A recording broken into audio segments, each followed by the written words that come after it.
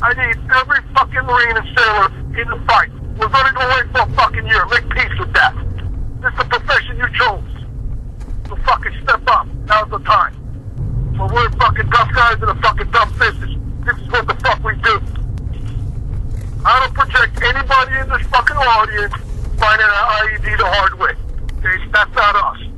I enjoy working with them, the, uh, the chances that I get, and I enjoy sending them out there on patrol because the more they're out there on patrol, the less we're out there on patrol, Right. and the more they're taking back over their country. Do you think they're finding a lot more of the IEDs compared to, say, comparatively speaking, say, our engineers? Who would you rather have on point?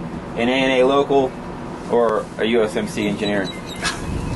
That's that's a, a good question. Honestly, I'd rather have the A and A locals because that means we're sitting back in the fob while they're out there doing their job. But You're on the foot patrol, though. You're on the foot patrol. Who do you want on point?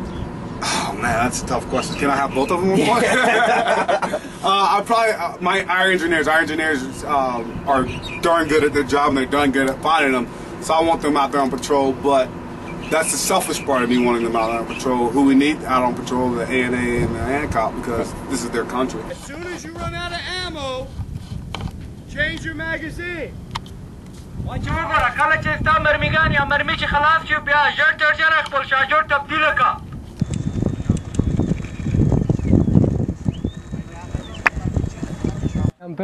My friend had an ID.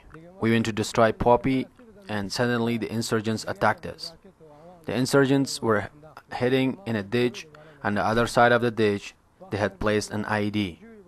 After they flew from the scene, the ID exploded and we lost our friend.